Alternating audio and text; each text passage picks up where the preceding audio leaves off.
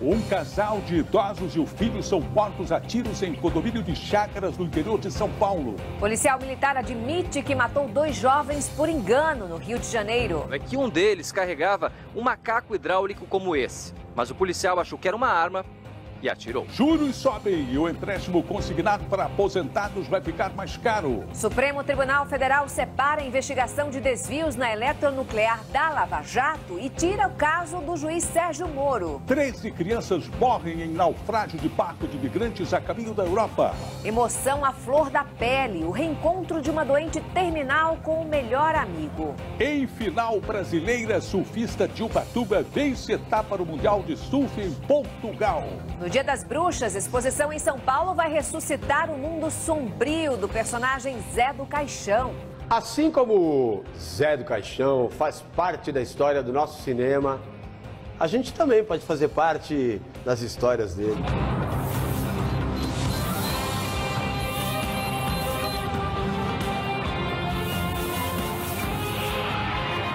Está no ar o SBT Brasil, com Carlos Nascimento e Raquel Sherazade. Boa noite. Boa noite. Um casal de idosos e o filho foram assassinados dentro de casa num condomínio de chácaras no interior de São Paulo. A polícia suspeita que a família foi vítima de latrocínio ou de execução. Simone Queiroz. Um sargento da Polícia Militar admitiu que matou dois jovens por engano no Rio de Janeiro. Ele confundiu um macaco hidráulico carregado por uma das vítimas com uma arma. A polícia do Rio de Janeiro investiga a morte de um advogado da Baixada Fluminense. A suspeita é de que a vítima conhecia o assassino. A essa altura, muita gente já está na estrada para aproveitar o feriado do dia de finados, mas antes da folga é preciso enfrentar os congestionamentos. Pois é, Nascimento, por isso a gente vai agora falar com a repórter Lívia Raik. Lívia, boa noite, como é que está? Obrigada, Lívia. Ah, três pessoas morreram depois que um caminhão caiu em um rio na região metropolitana de Florianópolis. O outro barco afundou com imigrantes que tentavam chegar à Europa. Entre os 20 mortos estavam 13 crianças. O ministro Teori Zavascki, do Supremo Tribunal Federal, tirou hoje do juiz Sérgio Moro o inquérito sobre as denúncias de corrupção na eletronuclear. Em Curitiba, o presidente da Odebrecht, Marcelo Odebrecht, prestou depoimento à Justiça Federal e disse que a prisão dele é ilegal. Uma pesquisa do Instituto Datafolha mostra que quase a metade dos deputados federais acha que Eduardo Cunha deve renunciar à presidência da Câmara. Segundo o Datafolha, devido ao alto número de parlamentares que não participaram do levantamento, o resultado indica apenas tendências, mas não representa o total do Congresso. Vamos ao vivo a Brasília falar com Kennedy Alencar. Kennedy, boa noite. Qual é a leitura política desses números do Datafolha sobre a situação do presidente da Câmara, Eduardo Cunha? Boa noite, Raquel. Considerada a capital mundial do livro pela Unesco, Buenos Aires tem o maior centro de literatura infantil da América Latina. O local chamado de Nuvem incentiva o hábito da leitura desde muito cedo. Patrícia Vasconcelos. E veja a seguir: juros do empréstimo consignado para aposentados vão subir. A crise econômica aumenta a procura de escritórios compartilhados. O reencontro emocionante de uma doente terminal com um cãozinho de estimação.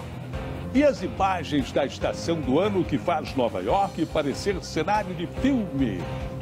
É lindo, é já já.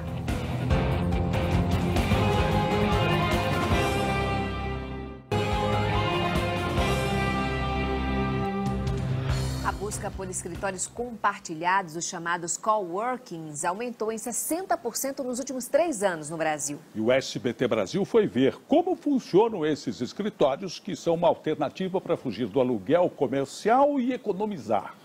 O governo aumentou a taxa de juros dos empréstimos consignados dos aposentados. A mudança só começa a valer depois que for publicada no Diário Oficial. E é melhor você ficar ligado na conta de energia elétrica neste mês de novembro, porque a ANEEL confirmou que a bandeira tarifária vai ficar na cor vermelha. Isto significa um acréscimo de R$ 4,50 a cada 100 kWh consumidos. Você vai ver a seguir, prorrogado o prazo para portabilidade de clientes da Unimed Paulista. O reencontro de uma doente terminal com seu melhor amigo. As cores do outono na paisagem de Nova York. Em São Paulo, uma exposição revive um dos personagens mais famosos do cinema brasileiro. A gente volta já já.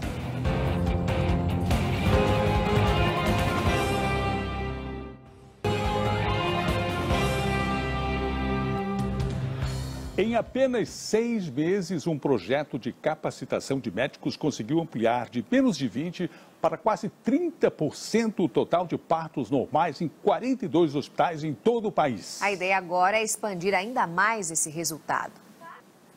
A Agência Nacional de Saúde prorrogou por mais 15 dias o prazo para que os 157 mil clientes da Unimed paulistana realizem a portabilidade para planos de outras três operadoras da Unimed. Apenas 10 mil clientes fizeram a transferência até agora. O Ministério da Saúde criou um grupo para estudar a eficácia da pílula do câncer, que é produzida pela Universidade de São Paulo, em São Carlos, no interior paulista. Em Porto Alegre, uma paciente internada com câncer teve a chance de fazer um pedido à equipe médica. O desejo foi realizado e o reencontro com um amigo especial emocionou muita gente. Aqui no Brasil, nós estamos na estação das flores e do calor antecipado, né?